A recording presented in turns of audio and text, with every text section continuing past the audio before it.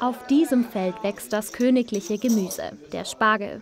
Seit Ostern erntet hier Christian Schiebel kiloweise seinen Pörnbacher Spargel. Den verkauft er aber nicht nur an die Kunden aus den Nachbargemeinden, sondern auch bei uns in München. Schon als Kind hat er auf dem Spargelfeld mit angepackt und weiß deshalb, worauf es ankommt. Wichtig ist, dass er eine schöne glatte Schale hat, dass er jetzt äh, normal gerade gewachsen ist, äh, dass er keine, keine, keine, nicht viele Steine äh, oder sonstige Hindernisse drin hat, wo er dann langsamer wachsen, dass er einfach zügig wegwachsen kann. Dann hat er eigentlich ein schönes, gutes Aroma. Dann. Ob mit Schinken und Sauce Hollandaise, als Suppe oder als Salat, es gibt unzählige Varianten und Rezepte für den Spargel. Das Gemüse besteht aber größtenteils aus Wasser. Also woher kommt der unverkennbare Geschmack? Die Böden sind relevant, so wie man es hier ein bisschen man sieht. Wir haben natürlich ein bisschen das Problem, dass wir dann auch mit dem Wasser, also wenn Niederschläge sind, äh, zu kämpfen. Aber wenn er etwas gewissen Schlupfanteil hat, wenn er nicht ganz äh, sandiger Boden, ja, aber wenn er ein bisschen einen Schlupfanteil, das ist mehr, äh, bringt ein bisschen mehr Würze, ein bisschen mehr Geschmack.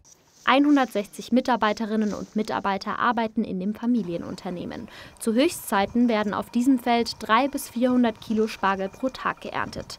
Wie so vieles hat auch der Spargelpreis in den letzten Jahren stark angezogen. Der Grund die steigenden Energiekosten und die Mindestlohnerhöhung. Klar ist aber auch, die Spargelernte ist harte körperliche Arbeit.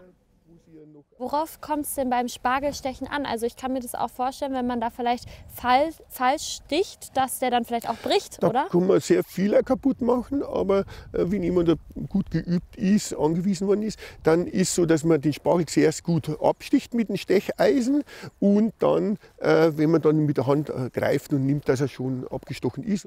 Neben dem klassischen weißen Spargel gibt es aber auch den grünen, der von Jahr zu Jahr beliebter wird. Der weiße Spargel wächst ja im, äh, im Boden drin, er soll ja kein UV-Licht nicht bekommen und somit bleibt er weiß. Und beim Grünspargel ist ja gerade dann das Entgegengesetzte, dass er in, das, in, die Sonne reinwachsen wird und somit er dann grün wird. Dann auch. Was ist Ihr Lieblingsspargel? Lieber weißer oder lieber grüner? Der grüne ist schon sehr lecker. Also ja. der ist sehr aromatisch, er hat ja schon mehr Inhaltsstoffe und ist eigentlich schon äh, kleiner Favorit. Ja. Für den frisch gestochenen Spargel geht es nach der Ernte in die Verarbeitungshalle des Betriebs.